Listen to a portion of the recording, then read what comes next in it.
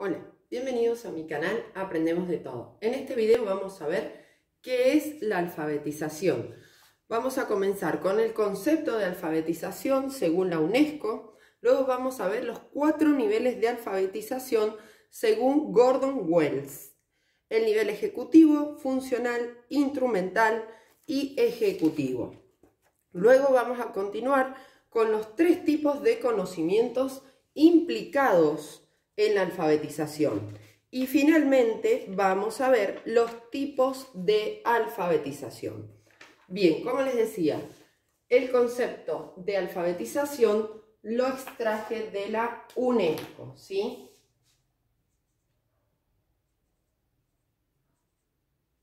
Concepto de alfabetización que dice lo siguiente. La alfabetización es una habilidad lingüística y cognitiva necesaria para el ingreso al mundo del conocimiento, de la ciencia, el arte, los lenguajes simbólicos y matemáticos que la humanidad ha producido a lo largo de su historia. Entonces, dice, la alfabetización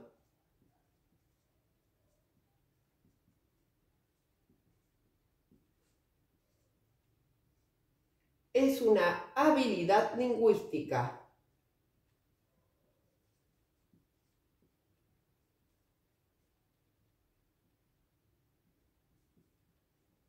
Si ven, lingüística, o sea, perdón, es una habilidad, no una capacidad, o sea, debe desarrollarse. Y cognitiva, necesaria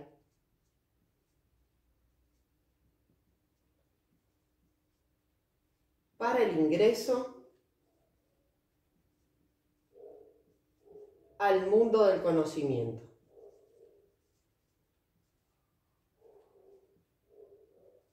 De la ciencia, el arte, los lenguajes simbólicos,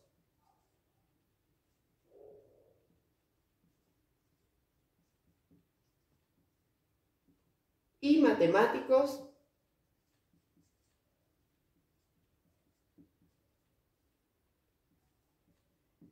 que la humanidad ha producido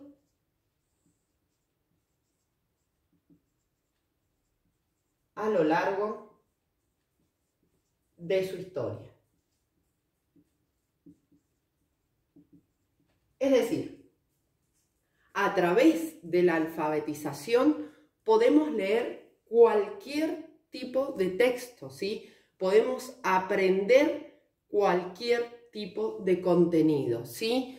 Muchas veces me preguntan, bueno, ¿y esto cómo, eh, qué carrera tenés? ¿Qué, eh, ¿Dónde lo estudiaste? ¿Tenés una especialidad? No, agarro los libros y leo, leo, leo, comprendo, investigo, leo otros libros que comparan esos libros, ¿sí? O analizan esos libros. Entonces, gracias a la alfabetización, puedo aprender cualquier conocimiento, ¿sí? Este concepto es según la UNESCO. Bien, ¿qué vamos a ver ahora? Los cuatro niveles de alfabetización según Gordon Wells. Del libro que ya se los voy a, escribir porque está en inglés. Aprendizaje in Literacy, de 1987. Y él lo describe de esta manera. Primer nivel, ejecutivo. Ahora lo voy a escribir bien y lo vamos a detallar. Segundo nivel, funcional.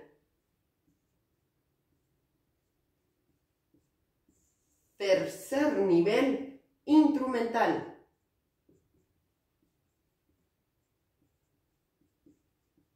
Y cuarto nivel, cuarto nivel ejecutivo. Bien, estos son los niveles de Wells, ahora los vamos a desarrollar uno por uno, pero es importante que dibujen el gráfico porque van a tener una correlación de la teoría con el gráfico. Si me dan un segundo.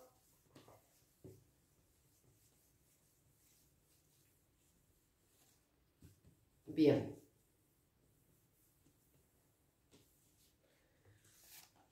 Dice lo siguiente. Cuatro niveles de alfabetización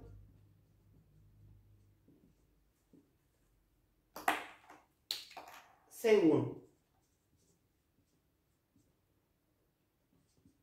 Gordon Wells. El libro se llama Aprendí Set in Literacy de 1987 por si lo quieren investigar o leer. El primer nivel que dijimos es el nivel ejecutivo. ¿A qué se refiere con este nivel? Dice que concibe la alfabetización como el dominio del código escrito, capacidad de traducir un mensaje del modo escrito al hablado y viceversa. Prácticas mecánicas más habituales en la escuela. Leer en voz alta, dictado, separar en sílabas, ejercicios ortográficos. O sea, el nivel ejecutivo sería el más básico. Concibe, dijimos, la alfabetización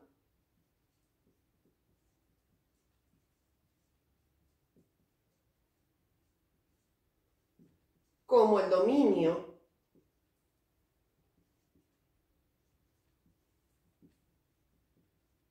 del código escrito.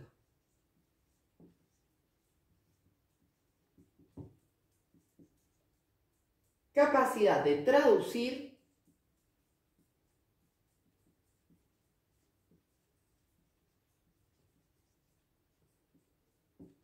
del modo escrito, perdón, traducir un mensaje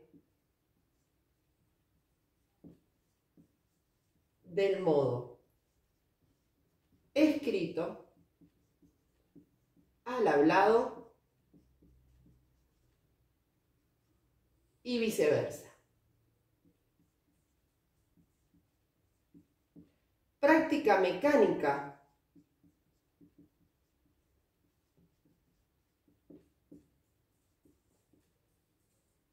Más habitual en la escuela.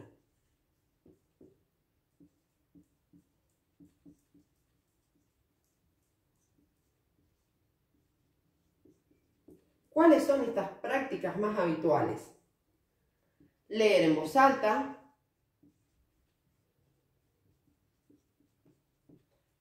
el dictado, separar en sílabas,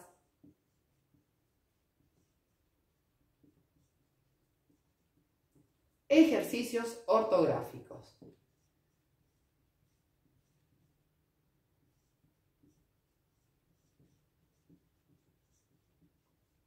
Bien, seguimos con el segundo nivel, que es el nivel funcional. Les comento que la idea es comenzar con todo lo que es alfabetización el mes que viene, ¿sí? Si tienen libros para recomendar o necesiten, si no, voy a comenzar con Emilia Ferreiro. Bien, segundo nivel, ejecutivo.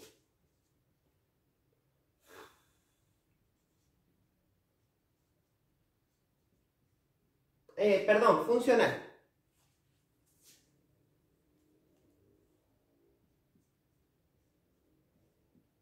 ¿A qué se refiere con este nivel? Dice, concibe la lengua escrita como un hecho de comunicación interpersonal que permite resolver la las exigencias de la vida cotidiana e implica el conocimiento de las características de cierto tipo de texto, ¿sí? Es más funcional, o sea, se refiere a la función.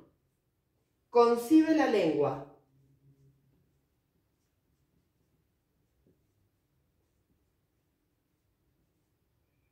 Escrita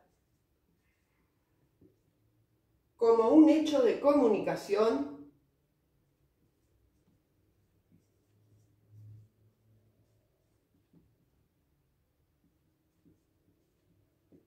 interpersonal.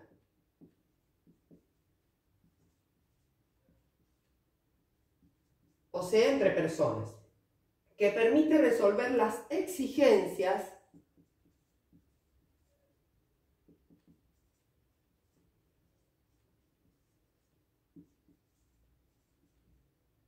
exigencias de la vida cotidiana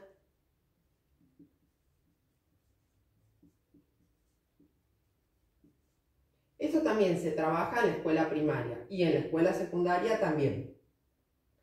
Eh, de la vida cotidiana e implica el conocimiento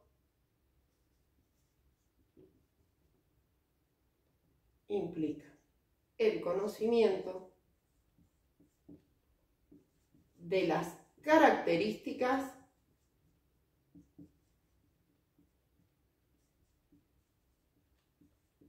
de cierto tipo de textos. También trabajamos el campo conceptual, ¿verdad? O sea, qué eh, partes o qué estructura tiene un texto narrativo, una carta, etc. El nivel ejecutivo era más básico, ¿sí? Solo comprender lo que sería y producir, decodificar producir, leer, ¿sí? No hablaba tanto de comprender. Ya en el nivel funcional vemos que debemos comprender el texto, además de sus características. Continuamos con el tercer nivel, nivel instrumental.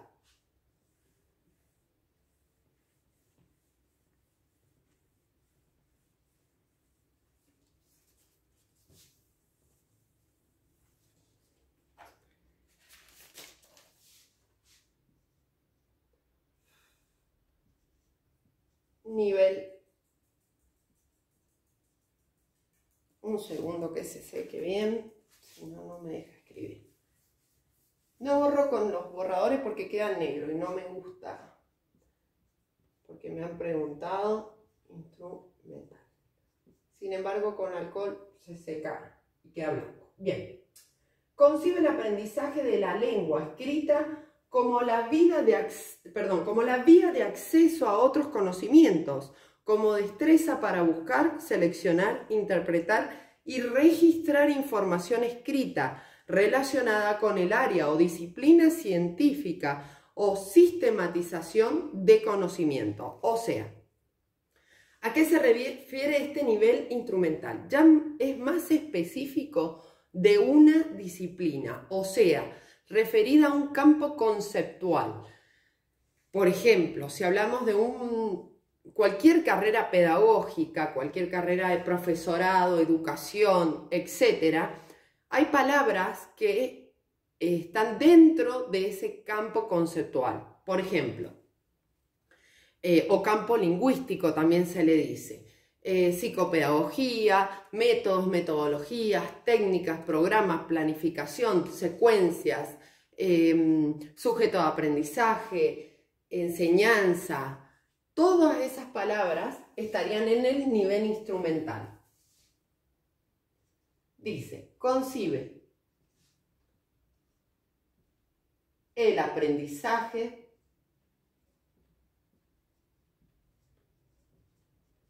de la lengua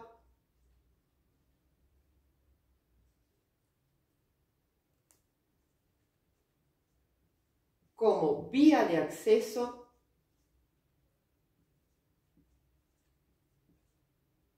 a otros conocimientos.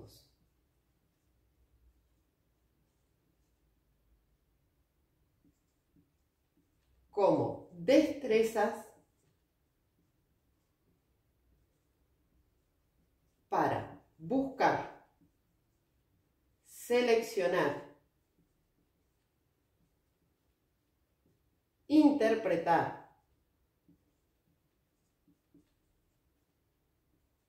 y registrar información escrita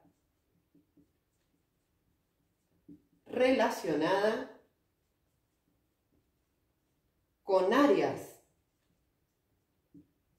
o disciplinas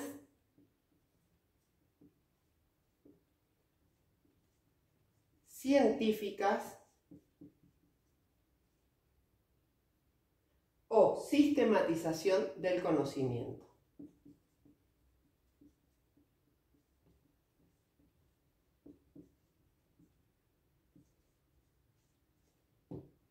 Bien, seguimos con el cuarto nivel, que es el nivel epistémico.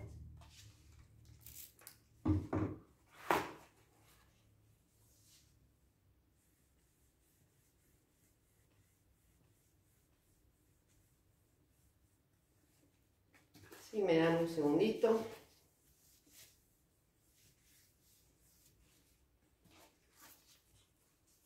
Sería el último nivel.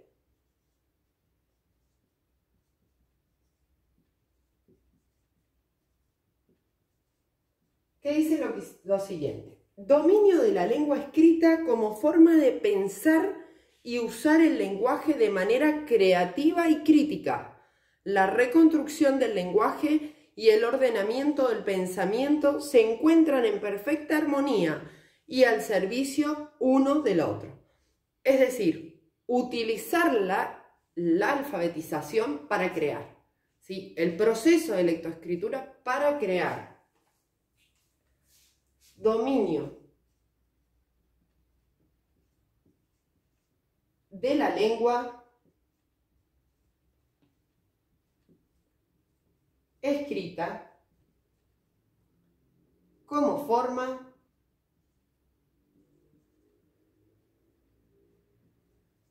de pensar y usar el lenguaje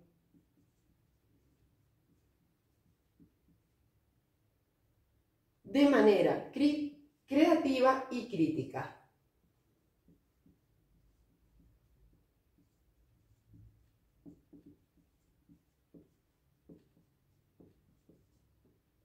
La reestructuración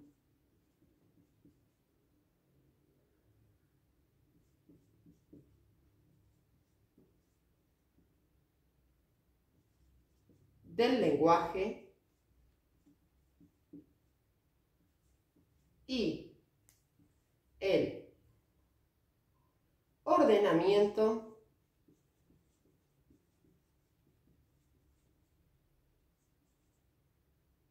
del pensamiento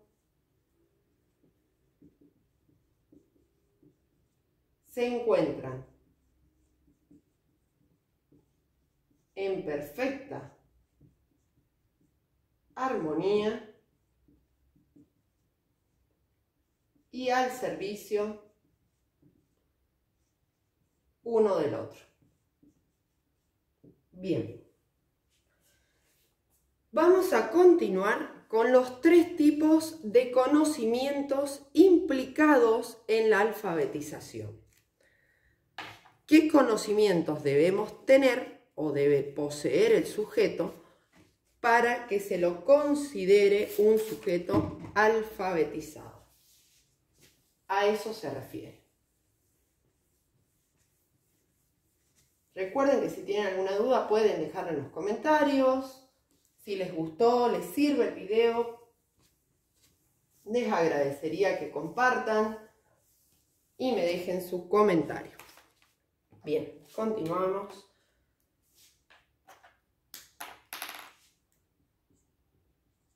Tres tipos de conocimiento implicados.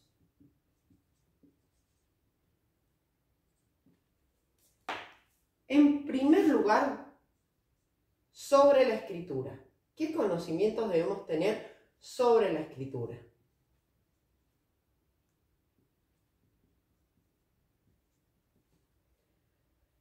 Dice, comprender la escritura del lenguaje, Sería el primero. Comprender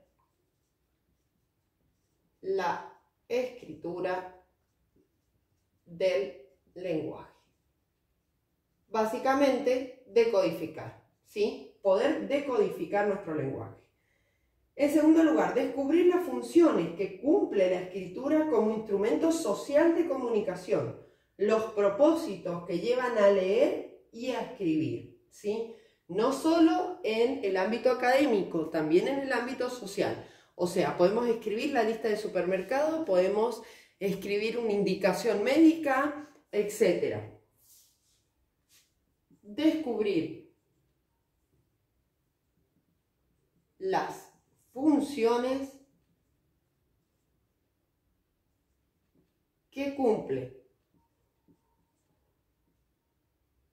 la escritura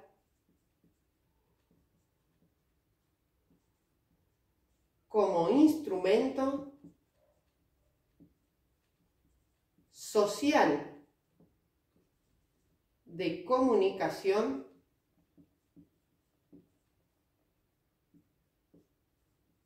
los propósitos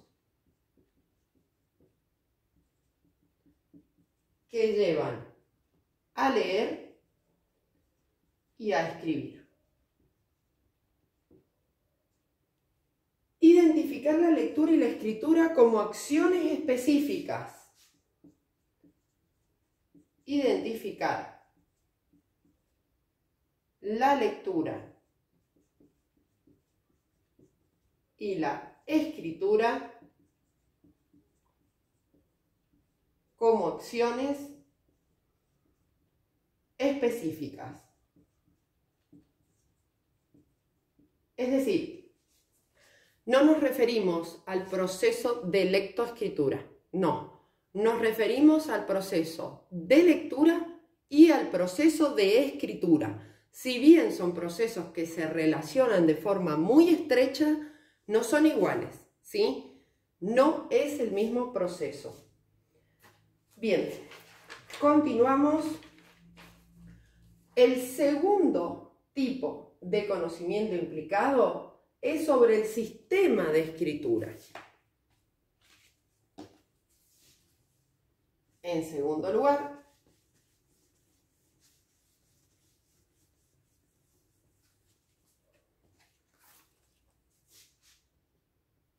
es el conocimiento sobre el sistema de escritura. Y acá vamos a encontrar. Descubrir las unidades del lenguaje. Ya voy a explicar cuáles son. Las unidades del lenguaje. Es decir, vamos a poner más acá, fonema. Eh, perdón, sílabas, me confundí.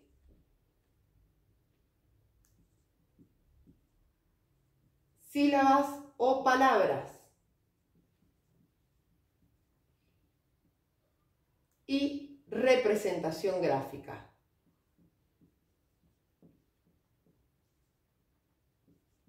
O sea, cómo se escriben. Otro ítem reconocer la orientación de la escritura, es decir, de izquierda a derecha, en el caso del alfabeto nuestro, ¿sí? Reconocer la orientación de la escritura.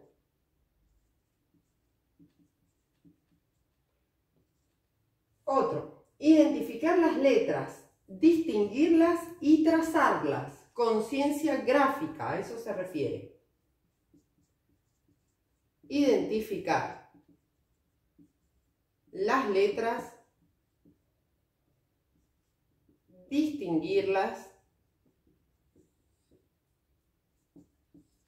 trazarlas perdón, y trazarlas. Conciencia gráfica. Luego tenés tomar conciencia de que las palabras orales están formadas por sonidos, que sería la conciencia fonológica. Tomar conciencia de que las palabras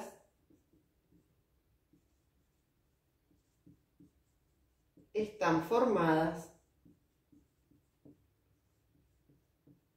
por sonidos, conciencia fonológica. Otro ítem, reconocer las relaciones entre sonido de palabras orales y letras escritas. Y ahí tendríamos la correspondencia fonema-grafema. Reconocer relaciones entre sonido, sonidos de palabras orales y letras escritas. Correspondencia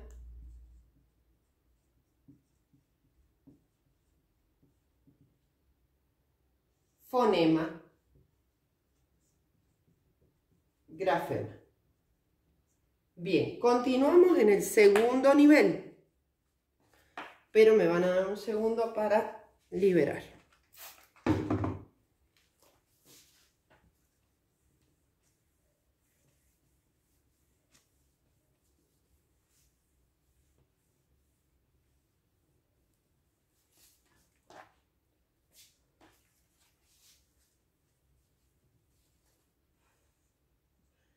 También acá podemos ver cuando eh, narramos los objetivos o los propósitos de determinada actividad, tener en cuenta que si en esa actividad el niño puede reconocer y relacionar esos sonidos ah. orales con la letra escrita, es que puede corresponder fonema-grafema, ¿sí? O sea, lo gráfico con el sonido.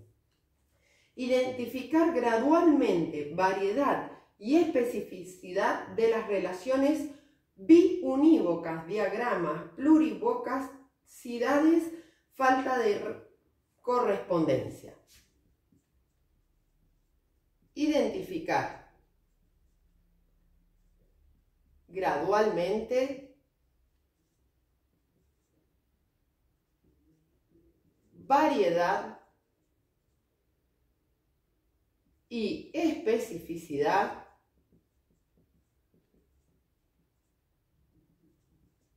de las relaciones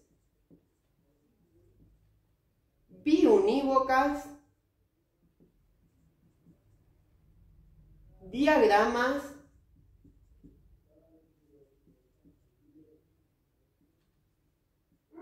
plurivocacidades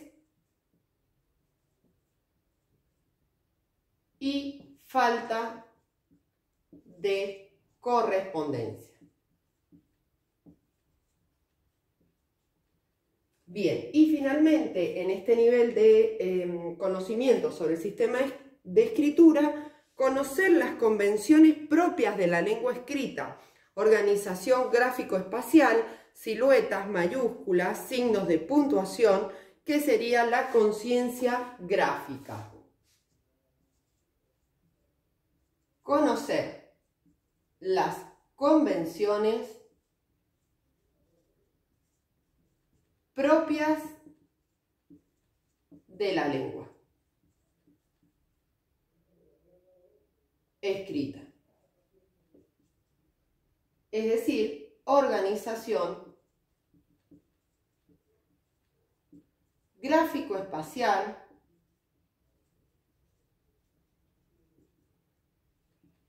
siluetas mayúscula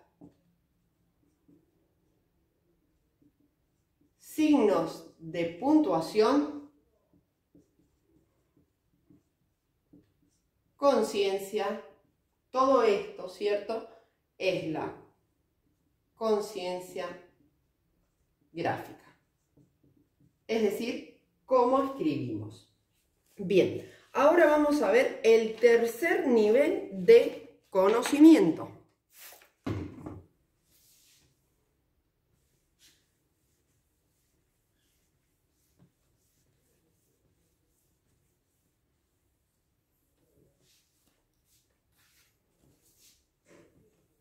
¿A qué se refiere este tercer nivel de conocimiento?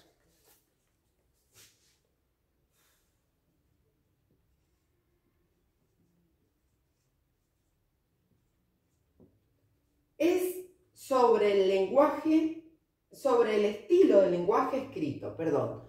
Nivel de conocimiento sobre el estilo del lenguaje